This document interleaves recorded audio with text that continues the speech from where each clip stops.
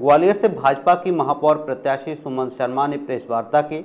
इस दौरान भाजपा की पूर्व मंत्री अनूप मिश्रा की नाराज़गी देखने को मिली है। आपको बता दें कि भाजपा के संकल्प पत्र को लेकर यह प्रेस वार्ता आयोजित की गई थी, जिसमें मंच पर महापौर प्रत्याशी सुमन शर्मा, सांसद विवेक नारायण और पूर्व महापौर समीक्षा गुप्ता और पूर्व मंत्री माया सिंह, ऊर्जा मंत्री प्रदुमन सिंह तोमर मौजूद रहे। जब संकल्प पत्र का विमोचन हो रहा था, तभी जिलाध्यक्ष ने पूर्व मंत्री को मंच पर आने को कहा, लेकिन गुस्साए पूर्व मंत्री नाराज़ होकर बाहर चले गए।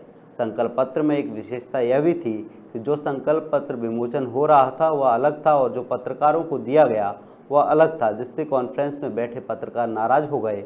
उसी वक्त ग्वालियर सांसद सजयवलकर पत्रकारों के आगे हाथ जोड़ते हुए नज़र आए, लेकिन पत्रकारों ने उनकी एक न सुनी।